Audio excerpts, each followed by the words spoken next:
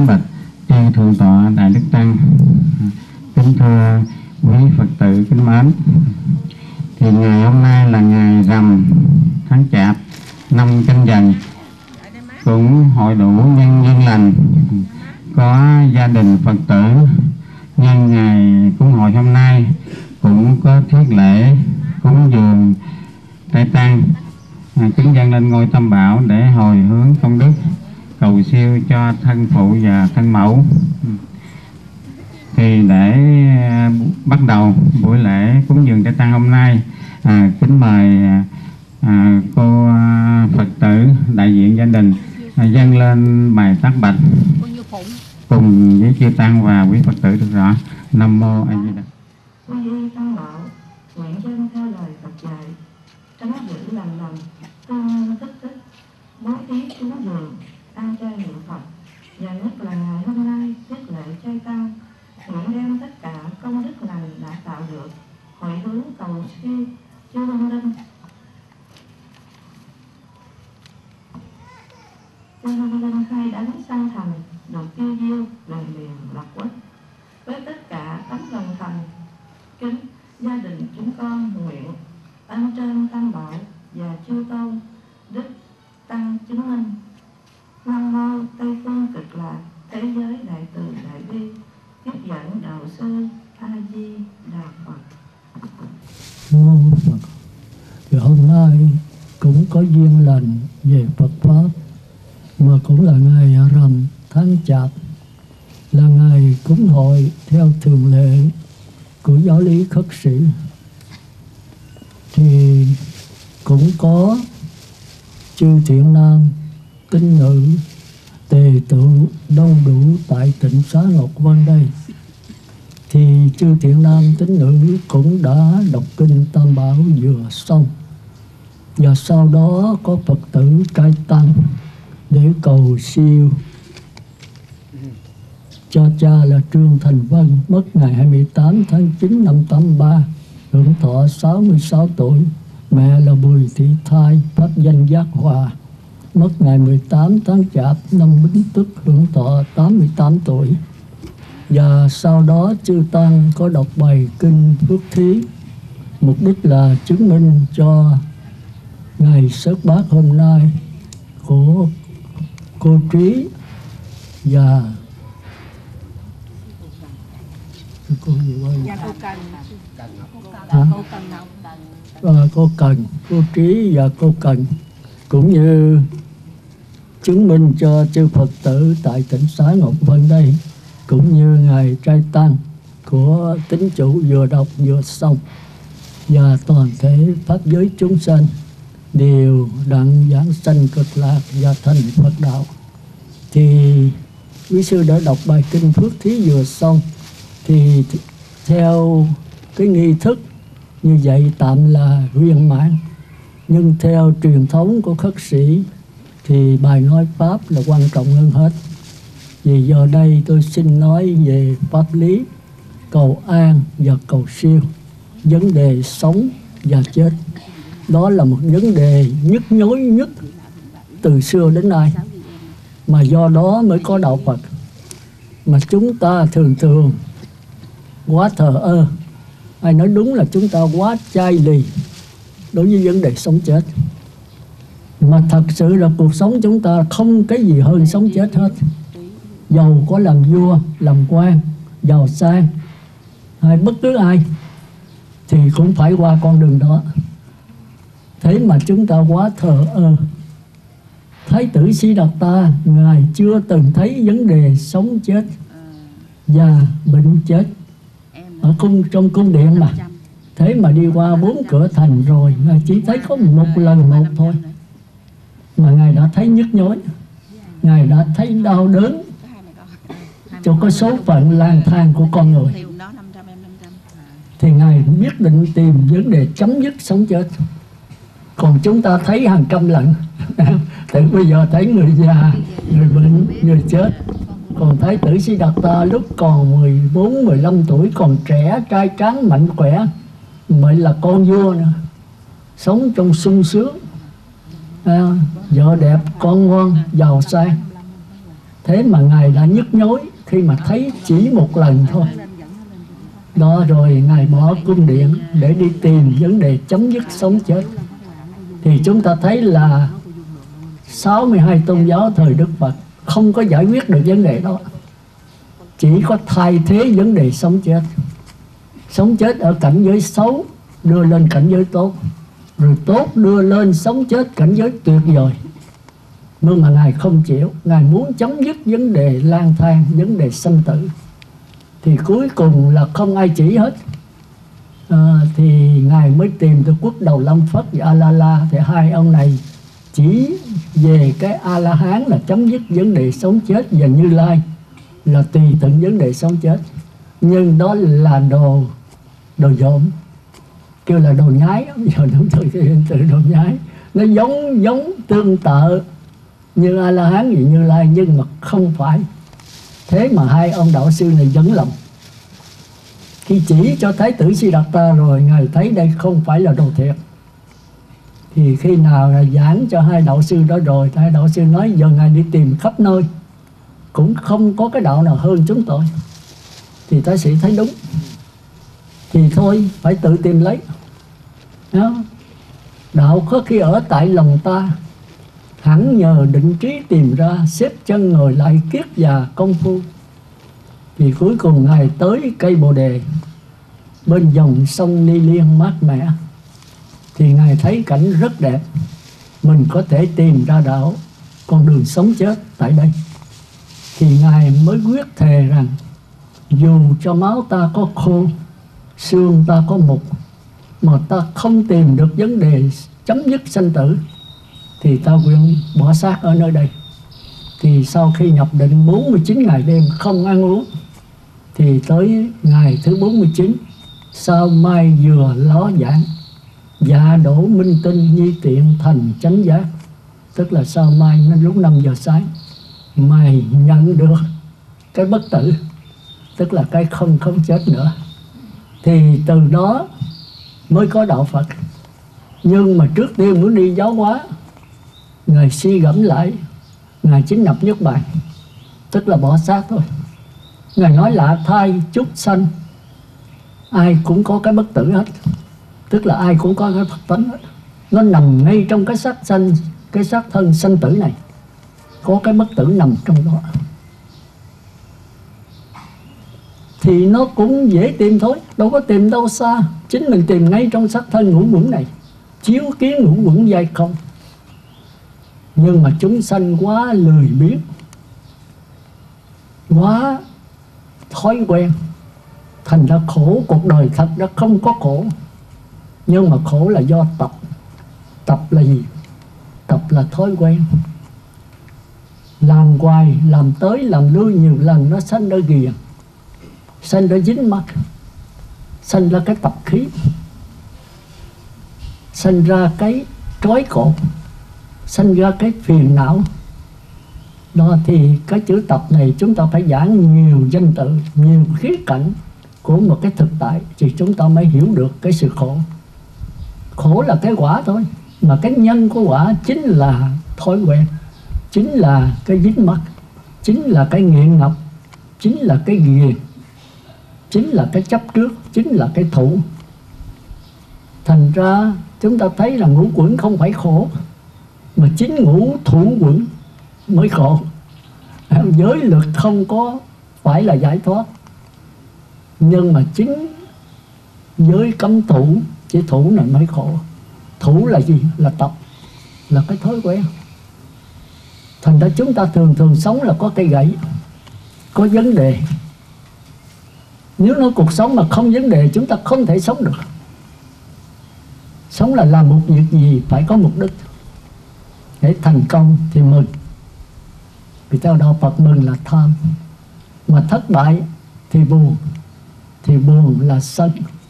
Thế là chúng ta sống trong cuộc đời này hết tham đến sân, hết sân đến tham. Thành ra chúng ta thấy tham sân là khổ mà chúng ta có thể sống mà thành công mà không mừng thất bại, không buồn được không? Thì có thái tử Siddhartha trả lời được. Nhưng mà tìm ở đâu? Tìm ở ngay trong sắc thân này, ngay trong cái cuộc sống này, chứ không phải tìm đâu xa.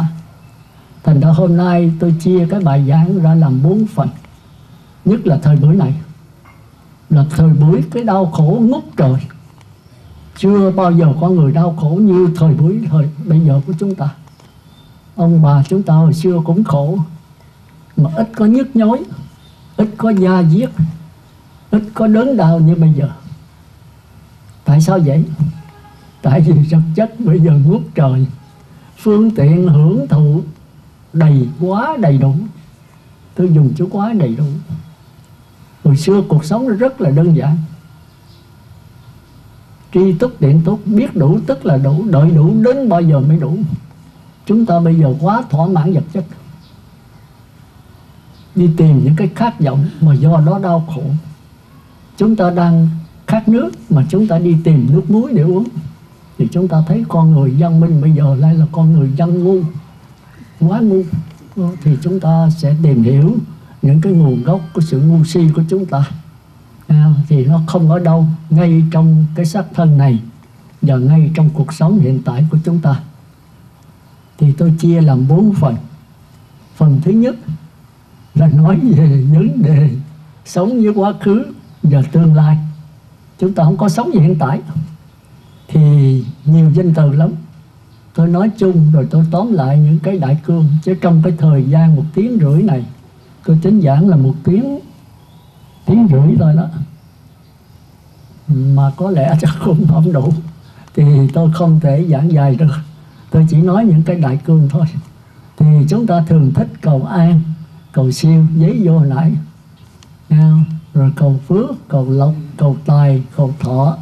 Rồi cầu sống chết, cầu khai thị.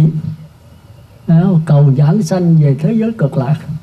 Về cõi trời, cầu thành phật thì cái đó không phải là cái sai. Nhưng mà không thể thành phật được, không thể giải thoát được, có thể thành người trời. Con người có ý chí mạnh, thì con người có thể làm tất cả mọi việc. Nhưng có một việc không thể làm được, đó là làm phật. À, thành ra trong kinh nói mình phải phải hiểu. Người không chí như thuyền không lái như ngựa, không cương, trôi dạt lông bông, không ra thế nào cả mình Chí tâm nhất xứ là vô sự bất thành Tập trung kỹ mạnh lâu sâu. Nhờ một cái đối tượng nào Thì chúng ta có thể làm tất cả mọi việc. Khoa học bây giờ đang làm Nhưng mà làm một phần nhỏ thôi. Có thể dời non lấp biển Đổi đá giá trời. À, Có thể thay trời đổi đất. Có thể làm tiên. À, Có thể làm trời. Nhưng mà không thể làm Phật. Chúng ta phải hiểu cái khó khăn của Đạo Phật từ xưa 62 tôn giáo đã đi vấn đề đó. Chút nữa chúng ta qua, bởi vì bây giờ mới bắt bắt đầu có chuyện phong thần à, có chuyện à, à, hội long qua có chuyện là nước Việt Nam sắp làm bá chủ 18 nước vậy tùm lum hết. Thì Phật tử giờ quan mang, kinh sách in vô một đống, đem cho bỏ tịnh xá, đem lại cái tương lai cho Phật tử, đừng có sống hiện tại nữa đây tương lai đây sẽ đến. Gì mà ờ, mèo kêu bá tánh lao sao giờ đến chừng rồng rắn máu đào chỉnh ghê. Đợi tới năm mèo, năm năm thìn. Năm thìn thì sắp tới rồi. Năm nay là sắp qua tới năm mèo mà. Mão, con mèo, rồi tới thìn. Rồi lại có quỹ viên gần pháp trung ương của phật giáo việt nam. Tôi nghe cái quyển sách đó kinh đó lại thôi thì tuyên bố rằng là ngày 21 tháng 12 chắc dương lịch. Thì tận thế. Thì đó là tới năm năm thìn đó. Tức là hai năm nữa. Thì làm cho phật tử lên ruột. Phật tử sợ chết. Thật ra chết ai không sợ chỉ có a la hán là không sợ thôi. Nhưng mà chạy trốn cái chết bằng bỏ hiện tại đi tìm tương lai thì chúng ta thấy là một cái sai lầm rất lớn. Thành ra hôm nay tôi chú trọng về vấn đề đó để cho phật tử là một người phật tử. Thì phải thật sự chân chánh là phật tử. Chứ đừng có lai đạo tiên đạo trời. Hay là đúng đề ác cái mi này cái mi đã hết bên mà xin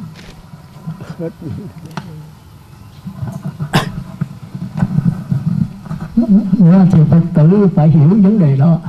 Còn phần thứ hai là chúng ta đi sâu một chút nữa, là cái tiến trình của năm quẩn của chúng ta. Tức là cái xác thân này, chúng ta tưởng có cái xác thân không? Thật sự không có đâu. Nó qua cái xác, cái thọ, cái tưởng, cái hành, cái thức. Thì sáu căn của chúng ta là mắt, tai, mũi, lưỡi, thân và ốc phải qua cái tiến trình đó. Chúc tôi sẽ trình bày cái này rồi chúng ta phải hiểu rõ cái tiến trình đó.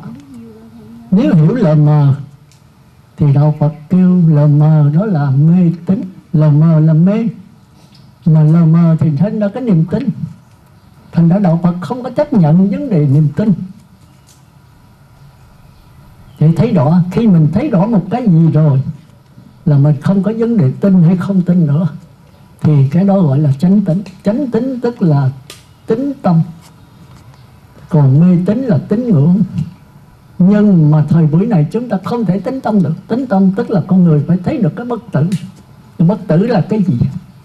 Là cái nền tảng sanh ra tất cả dạng vật chúng sanh và các pháp. Cũng như cái dòng nước vậy. Nó không là gì hết.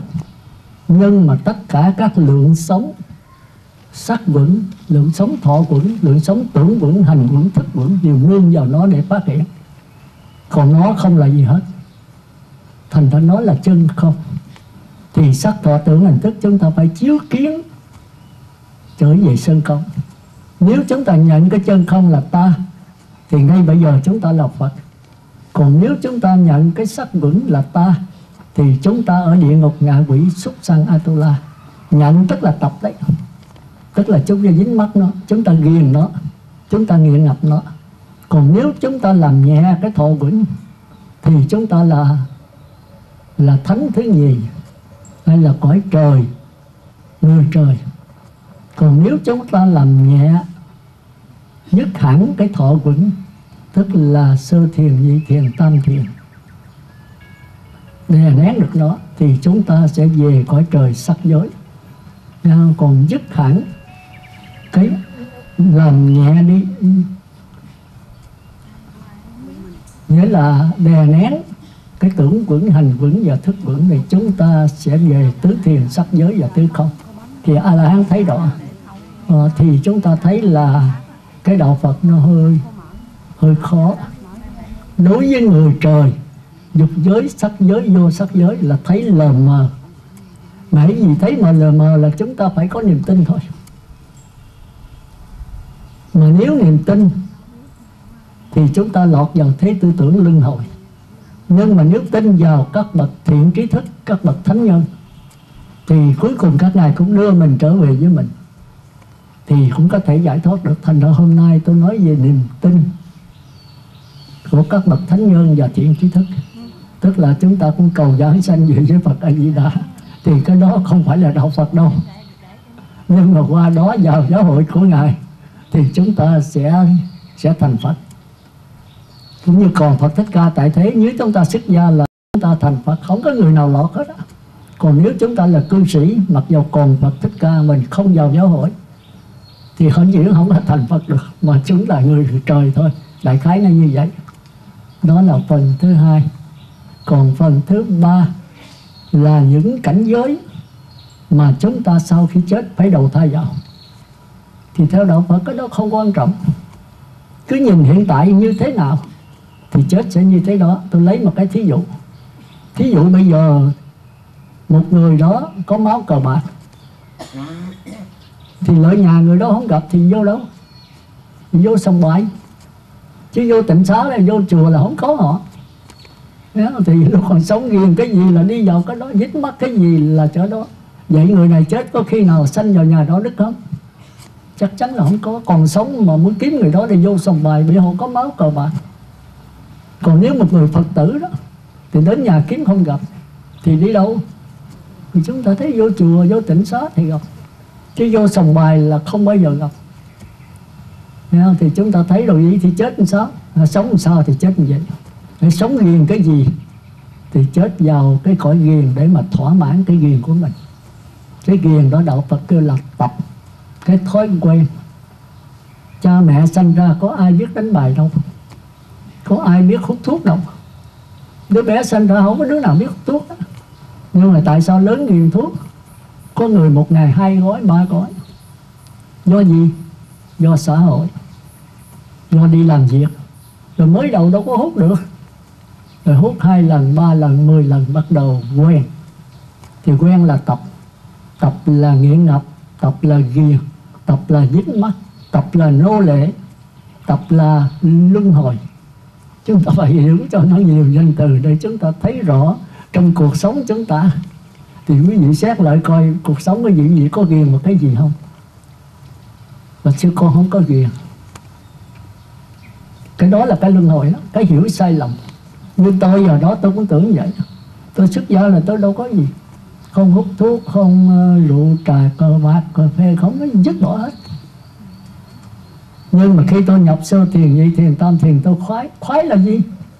Ghiền. Đức phật nói, con ghiền cái cao thượng. Thì con luân hồi vào cảnh giới cao thượng. Cao thượng là cũng là luân hồi thôi. Con bỏ cái xiềng cây, xiềng sắt, thì con bám vào cái xiềng vàng. Xiềng vàng có phải là xiềng không? Xiềng vàng mới khó bỏ à. Quý vị mà có xiềng cây cây, xiềng sắt, quý vị cho dễ dàng còn quý vị có cái xiềng bằng vàng, quý vị cho, quý vị thấy khó cho như cột mấy vị, nhưng mà cột nó quý giá. Quý vị thấy nó khó không? thành ra bỏ cha, bỏ mẹ thì dễ. Không? mà bỏ con là khó.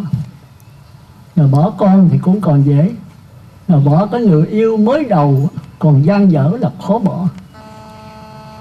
Thì chúng ta thấy cái gì mình mê càng dữ chừng nào, thì cái sự dứt bỏ càng khó chừng ấy. Dạ. cái phút ban đầu lưu luyến ấy ngàn năm hồi dễ mấy ai quên, thì cái đó mới là khó bỏ nhất. Thành ra chúng ta thấy cái gì chúng ta nghiện ngập dữ, ghiền dữ, thì cái đó rất là khó. Thành ra phần thứ ba thì dễ thôi. Muốn biết mình đầu thai vào đâu, thì hãy coi bây giờ mình mình đầu thai vào đâu. Quý vị trở về như mình, coi cuộc sống mình có ghiền cái gì không? Thì tôi thấy đây quý vị không ghiền cái bốn đường ác rồi đó. Địa ngục, ngạ quỷ, súc sanh, atula. Chúng ta giữ năm giới là chúng ta không có ghiền cà phê, không ghiền hút thuốc. Tôi nói không ghiền cho có một số cũng lén lút đấy. Có phật tử mép tôi. Thì nói nó sư nói là không được ăn gà vịt này kia, heo chó. Chỉ ăn tôm cua cá tép thôi. Mấy ngày ăn mặn ông ra hổ. Ăn hủ tiếu, bảy, bò bảy món sư ơi. Sư đầy mấy ông tôi nói không có ai đầy ai được hết á tôi chỉ dạy, chỉ giảng vậy thôi. Còn ai ấy phải lo số phận mình. Mình phải quyết định cho vấn đề lang thang của cá nhân mình. Không có người thứ hai nào xen vào đó. Tôi chỉ năn nỉ, chỉ khuyên, chỉ gợi ý, chỉ lặp lại trùng tiên những lời đức phật đã giảng. Còn mình muốn luân hồi thì cứ luân hồi. Chứ có ai mà cản ai được. Nhưng bổn phận tôi tôi làm hết bổn phận của tôi. Đó thì quý vị thấy là cái bài thứ ba thì nó dễ thôi chúng ta cứ nhìn hiện tại. Thì chúng ta biết chết mình sẽ về đâu. Bây giờ mình ghiền cái gì chết mình tìm vào đó. Còn cái thứ tư, thì đúng ra đó, phần thứ tư là giảng về cái mục đích của đạo Phật là chấm dứt đầu thai. Nhưng mà cái đó, quý vị nghe không nổi đâu. Mà giàu có nghe nổi, quý vị cũng không làm được. Muốn làm được thì quý vị phải cạo cái đầu thôi. Phải xuất gia mà xuất gia phải sống đứng đó. Mà đúng cũng chưa chắc. Tôi đã sống khá rồi đó. Nhưng mà vẫn chưa có đắc quả là hán được. Mà bây giờ nói thật sự với quý vị, nói tôi đắc quả gì chính tôi cũng không biết nữa. Còn nói tôi không đắc quả thì tôi biết rất rõ. Là tôi chưa đắc cái gì đó còn đắc thánh quả thì tôi lờ mờ thôi. Cái đó phải có những bậc thiện thức, bậc thánh nhân. Cái mà thọ ký cho mình. Ta đi qua rồi ta coi mình có lầm hay không thành ra giữa tư tưởng và bát nhã rất là khó phân biệt. Kêu là ngũ ấm ma. Sắc ấm là cái sắc thân này của nhập lưu đấy. Nhập lưu mới là thấy rõ sắc ấm, mà không thấy không rõ thì địa ngục ngạ quỷ súc sanh. Thành lại nhận lầm một cái là địa ngục ngạ quỷ súc sanh. Thọ ấm, làm nhẹ đi, đó là người trời.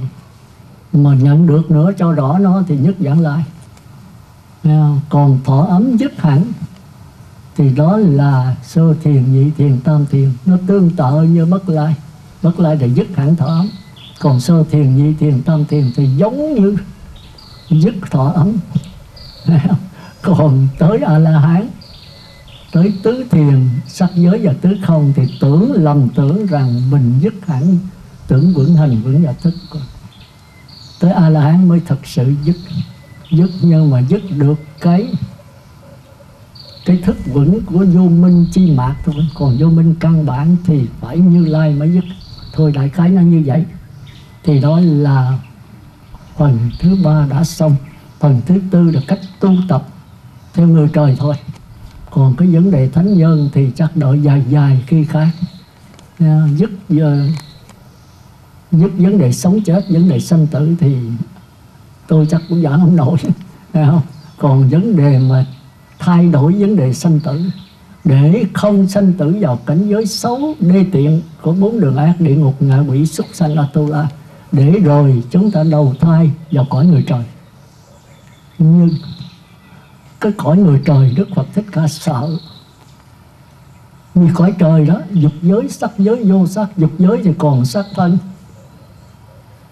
Người thì còn có gia đình nhưng mà có lương lý bổn phận trách nhiệm. Còn trời dục giới á, thì sợ là sợ mà cũng vẫn còn ghiền thành ra không có vấn đề giao hợp nhưng mà có vấn đề hung hít, đá lông nheo, nhìn nhau. Thì vẫn có thai thôi. Còn cõi trời sắc giới thì ngon đấy. Ở đây là không có nam nữ, không có năm căn nữ căn nữa. Toàn là trưởng phu thôi. Nhưng còn ghiền vấn đề hưởng thụ bên trong? Tức là không có đoàn thực nữa mà xúc thực ăn bằng các cảm giác. Có thể 7 ngày, 7 tháng, 7 năm, 70 năm không cần ăn uống gì cơm cháo ở ngoài mà ăn bằng vấn đề tập trung vào đối tượng để mà có cảm giác hỷ lạc. Đó thì hôm nay chúng ta giảng về cái đó thôi. Nhưng Đức Phật sợ vì mấy cõi này sống rất lâu và cái cảm giác rất là mê ly thì hưởng hết phước rồi, chúng ta nhàm chán nhàm chán là cái cái tập này. Thì chúng ta xả thiền trở ra rồi dính mắt trở lại.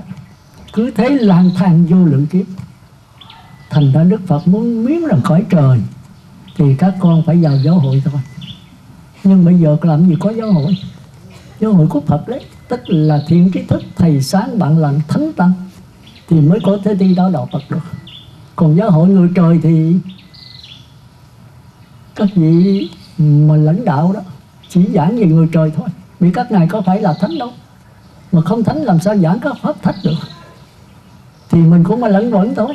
Thành ra cõi này bây giờ là khó đắc thánh quả.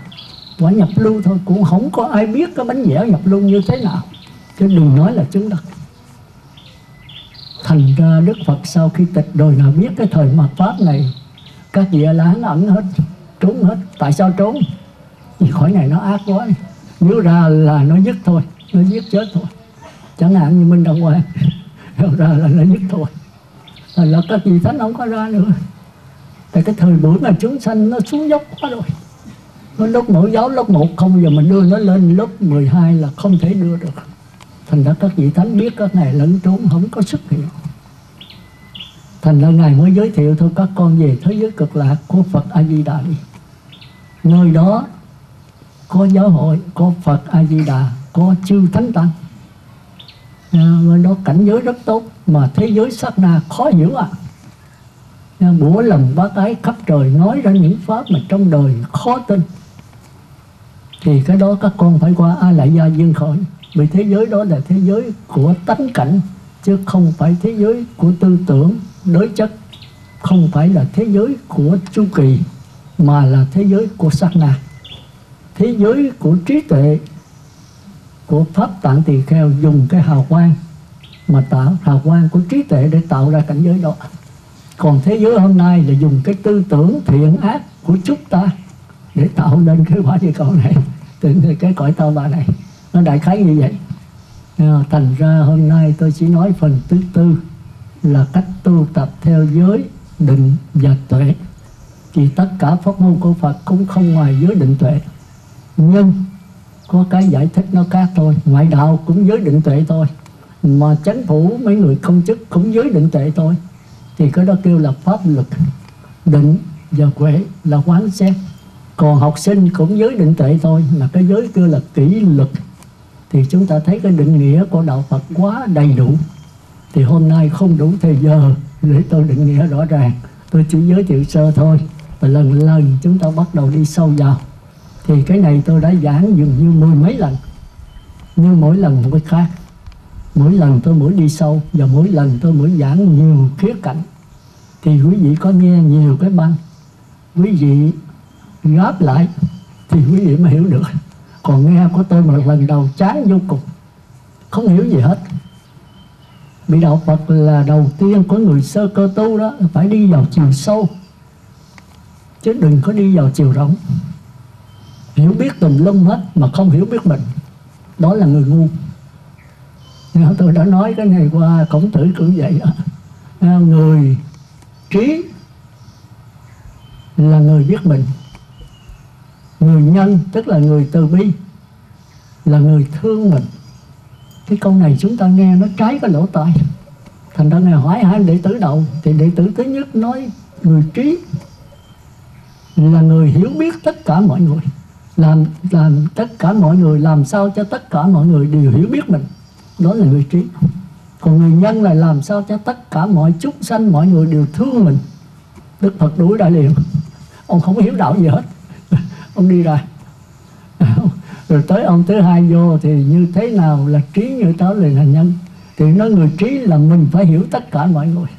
Còn người nhân là làm mình phải hiểu tất cả trình độ của mọi chúng sanh thì khổng tử cười cười, ông hiểu đạo chưa? Có thông lắm, cũng tạm được. Thì cái này là của bồ tát phật đấy. Còn cái thứ nhất là của háo danh, háo lợi. Làm sao cho người ta thương mình, làm sao người ta hiểu biết mình? Thì tất nhiên là ra đĩa, ra băng, rồi cả cả thế giới không cứ lăn xê mình lên cho cao. Không? mướn người ta làm sao cho mình nổi tiếng, giống như bà thân ngại vậy đó. Rồi cuối cùng cũng đối đại thôi. Còn người đệ tử thứ ba là đệ tử thân yêu nhất, giống như xá lợi phất của một vị liên đó. Đây tức là nhan hồi. Thì hồi như thế nào là trí, như thế nào là nhân? Thì nhan hồi nói, bạch thầy, trí là mình phải hiểu mình một cách toàn vẹn, nhân là mình phải thương mình một cách tha thiết. Thì khổng tử nói, ông mới là người hiểu đạo, chỉ có ông thôi. Thì hôm nay tôi muốn nói về cái trí, cái nhân của nhan hồn cũng là của đạo phật. Con đường đầu tiên của người sơ tơ cơ, của người tập tu cũng là của tôi. Và tôi nghĩ chắc có kẻ, có lẽ của cô phật tử. Nhưng ở đây chắc có một vài người siêu à. Thì nó thường nghe tôi giảng, nó thường thôi. Còn nếu mà chúng ta bắt đầu tu thì chắc phải đi con đường này. Mình phải thương mình. Đó là từ bi thương không phải là ngồi ăn chơi ngủ tối ngày. Lo sắp thân cho nó một cù đó là không phải. Về cánh nhạn mà ngủ thì không phải. Thương mình là làm sao cho mình thành phật. Mình không nương vào đâu hết. Phật đã từng tuyên bố mà. Ta là phật đã thành, các con là phật sẽ thành và đang thành. Có người nghe con tôi nói con đó, sợ ôi con không làm phật được đâu, sư ơi. Thì cứ vĩnh viễn luân hồi mình mà cam cỏ, cam cái phận cỏ cây thì đừng có than là người ta chà đạp mình. Hoặc không từng đất đá cỏ cây, không từng địa ngục bò lớn sắt thì mình cũng vậy. Chúng ta coi lại cái tiền thân của đức phật. Ngài đã từng giết mẹ và đọa xuống địa ngục vô gián. Rồi bò lên địa ngục khổ gián rồi đò lên ngạ quỷ súc sanh rồi giọt lên khỏi trời rồi mới thành phật. Thì có một chữ bệnh thôi. Thì bây giờ mình bệnh được không? Ai dạy mình cái bệnh? Mình té rồi mình nằm dạ luôn rồi mình không ngồi dậy nữa. Hay là mình té một trăm lần mình ngồi dậy một trăm lấy một lần. Làm sao ngồi dậy? Rồi làm sao nữa thì chết mình ngồi không ngồi thì thôi. Cái đó là ý chí của mình. Nhưng mà khi ý chí cao rồi phải dứt luôn cái ý chí mới thành phật được thì cái này đau đớn ạ. À, tôi nhức nhối về vấn đề này. Chứ cái ý chí rồi tôi có ý chí. Tôi dám dứt tất cả để đi xuất gia mà trong lúc cha không cho, mẹ không cho, gia đình không ai cho. Mà gia đình lại khá giả nữa, mà đang làm hiệu trưởng nữa. Thì nó đủ cái mà nó so lợi với thái tử đạt ta có bằng cái lai của ngài đâu mà ngài dám dứt thì tại sao mình không dám dứt? Thì dám hay không là do mình. Nếu mình thấy cái cảnh giới của mình quá sung sướng, thì rồi, tập. Dính mắt. Dính mắt thì trở lại nữa. Thì lang thang nữa, thì sanh tử nữa mà dứt cái đó rồi tôi tưởng ngon vô đây tu này kia rồi, khoái vô thiền. Sơ thiền nhị thiền ngồi tối ngày tám chín tiếng hồ tưởng đâu đắc quả. Nhà đâu là nhồi trong cõi trời sắc giới. Mình tưởng cái niệm niết bàn. Nhưng sao đức phật nó không phải đâu cái này cõi trời sắc giới con phải dứt nữa. Tôi nói trời ơi cái đi tiện là dứt là cái cao thượng cũng dứt nữa sao như lai rồi con sống với cái gì? Con sống không cái gì hết thì đó là con sống với tất cả. Con còn dính mắc một cái gì giàu cao thượng cách mấy giàu di tế cách mấy? Thì đó vẫn là dính mắc. Cái, cái đạo Phật nó khó. Thành ra ngài lưỡng lự là tính không giấu quá chúng sanh nó mê quá rồi. Nó quen sống với cái tập đế quen sống với cái cải sửa quen sống với mục đích quen sống với vấn đề. Không có vấn đề là nó không sống được. Thế hôm nay mình dứt tất cả mọi vấn đề cả cái vấn đề cao thượng nhất. Con hy sinh thoát thân, con con giúp đỡ mọi người. Bây giờ mọi người an lạc mình, con chết con cũng chịu nữa. Không thành phật được. Nó cao thượng. Bỏ mình mà đi giúp mọi người thì mình không phải là một chúng sanh trong vũ lượng chúng sanh sao? Tại sao mình thấy mình thấp hơn người ta? Thấy mình cao hơn là ngã mạn, tăng thượng mạn thấy mình thấp hơn người ta là ti liệt mạn thấy mình bằng chúng sanh là cũng ngã mạn cao hơn cũng sai, mà bằng chúng sanh cũng sai, mà thấp hơn cũng sai. Mình với chúng sanh giống nhau thôi. Thành ra đối đạo Phật mà mình giết mình là giết một chúng sanh, Phật đại giới. Mình cũng là một chúng sanh như mọi người, không bỏ ai hết. Tất cả đều bình đẳng mà muốn như vậy không phải nói miệng như tôi đó. Mà phải thấy được cái bất tử. Trong cái sanh tử, thấy được cái sai biệt. Mình với mọi người đều sai biệt hết. Mắt, tai, mũi, lưỡi đều khác nhau, các căn đều có cái tác dụng khác nhau. Nhưng phải thấy được cái bình đẳng trong tất cả cái sai biệt này. Thì cái đó gọi là cái bất tử. Thì chúng ta mới qua đạo Phật được. Thì muốn thấy được cái bình đẳng đó, chúng ta phải dứt cái tập. Tức là dứt cái dính mắt không dính mắc vào cái gì hết, thì chúng ta trở gì cái chân không? Chân không không phải là không có ờ, mà không có mà là có tất cả. Cái này là cái nhức nhối nhất của đạo Phật. Thì dù muốn vào không, chúng ta phải đi đến đó. Mà không đi đến đó thì chúng ta phải vào giáo hội của Phật Thích Ca. Mà Phật Thích Ca không còn, chúng ta phải vào giáo hội Phật A Di Đà nơi đây có thiện trí thức, có thánh nhân. Thì vĩnh viễn là chúng ta không rớt nữa cùng lắm là dậm chân một chỗ. Mà cũng chưa chắc dậm chân tiến thôi. Còn nếu sanh vào cõi trời thì chúng ta khoái quá, nó giống như như là niết bàn thì thôi đây hưởng. Hưởng thời gian thì sao? Tập. Nhàm chán. Nhàm chán là một danh từ khác của tập. Nhàm chán thì sao? Phải bỏ đi kiếm cảnh giới khác. Cảnh giới khác hoặc là cao hơn hoặc là thấp hơn. Mà cao hơn thì hưởng thời gian sao? Thì cũng nhàm chán nữa. Cái tập nó đeo mình hoài. Cái thói quen là đeo tới mình hoài. Mà dứt cái tập thì con sống với ai? Không sống với ai hết là sống với tất cả. Thành ra đạo phật đó là coi cha mẹ cũng như là chúng sanh chung thôi. Nếu còn một cha một mẹ thì không thành phật được nhưng mà thành trời còn bỏ cha, bỏ mẹ bất hiếu luôn. Đấu tố nữa thì đó là thứ lỗ nẻ. Trông lên thì cái đó mình không có bài. Còn có hiếu với một cha, một mẹ. Thì từ đó mới là có hiếu vô lượng cha mẹ được. Một quyền liên, chúng ta nói mình phật tử là ngày rằm tháng 7 có hiếu cha mẹ, bắt trước đại hiếu một quyền liên. Mốc xì, mà nó bằng cái gốc của ngài. Mình thì có một cha, một mẹ thôi. Thì đó là mua bán, tiền cho cháu múc thì cha mẹ nuôi tôi có ngon ơn với tôi thì tôi phải lo lại. Thì là tiền cho cháu múc còn người lối xóm không có lo gì cho tôi hết. Giờ bà bệnh chết cũng trai gái chịu. Xã hội không ai trách mình hết. Nhưng mà đạo phật trách. Muốn làm phật không có vậy được. Chúng ta thấy có nhiều người đó mà cha mẹ bên mỹ chết cho phật tử ai. Cái thay ma rồi mà dám bỏ trong bọc ni lông, mướn trực thăng trở từ bên mỹ về việt nam gần cách tỷ đồng chứ, sao? Người bay đi, bay về. Mà trong lúc đó lối xóm bà con có một vài người bệnh đó mà tốn chừng một hai triệu để lên Sài Gòn trị, mà mình dư tiền để chở cha mẹ về mà không cho. Có phải là cha mẹ tôi đâu? Có nuôi tôi ngày nào đâu? Cha mẹ tôi nuôi từ cái thịt đỏ lo từ miếng ăn manh áo bệnh hoạn của tôi. Thì cái này nó tán, tôi lo lại. Đúng chứ không phải sai nhưng đó là đạo trời, chứ không phải đạo Phật. Chúng ta phải hiểu cái khó khăn của đạo Phật. Ai cũng là cha mẹ hết. Người nổi xóm cũng là cha mẹ. Trong nhiều kiếp đó, nói sự thật đấy. Mà sự thật khó tin, nhưng mà có thật. Cho đến con chó, con trâu, con bò, con mèo, con kiến cũng là cha mẹ của mình trong nhiều kiếp. Làm sao ai tin nổi? Nói ra những pháp mà trong đời khó tin. Nếu mình có ngồi thiền sâu mình có đắc thánh quả, mình sẽ thấy đúng như vậy. Còn bây giờ với cái thế tư tưởng, làm sao mình tin đạo Phật được? Cái gì mà con kiến, con chó, con trâu bò cũng là cha mẹ, ông bà, ông nội, cũng là chồng, cũng là vợ, cũng là con, cũng là ông cố, cũng là cháu chắc của mình. Nói gì mà nghe nó lộn xộn. Nhưng mà sự thật, cuộc sống này là lộn xộn. Chứ không lộn xộn, làm sao mình đau khổ?